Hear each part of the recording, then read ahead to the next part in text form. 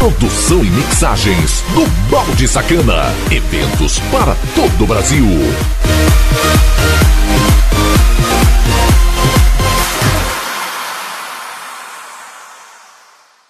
Capricórnio, do dia 30 de março de 2017, com a Lua e Marte em Touro, o momento é perfeito para namorar e curtir as coisas boas da vida. No amor, está rolando paquera, romance. O amor está no ar e tudo pode acontecer. Nas amizades, cultive a leveza e o respeito. Na escola, o clima está agitado, mas não deixe que isso desvie sua atenção das aulas.